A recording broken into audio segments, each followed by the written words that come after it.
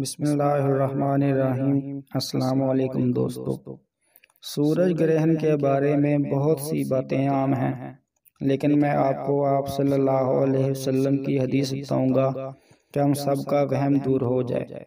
जब सूरज ग्रहण लगता है तो सूरज की तरफ़ देखना इंतहाई ख़तरनाक हो सकता है। कोशिश करें उस वक्त बच्चों को घर में रखें। उस दौरान नफल अदा करें। अपने गुनाहों की माफ़ी मांगे। अरबों में ये बात मशहूर पाई जाती थी कि जब सूरज ग्रहण और चाँद ग्रहण लगता है तो इस ज़मीन पर बहुत बड़ा जुल्म होता है।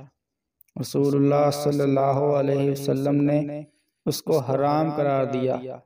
हज़रत इब्ने उमर रज़ी अल्लाह तु से रवायत है कि नबी अकरम सल्लल्लाहु अलैहि वसल्लम ने फरमाया सूरज और चाँद को किसी की मौत और ज़िंदगी की वजह से ग्रहण नहीं लगता बल्कि ये अल्लाह की निशानियों में से दो निशानियाँ हैं।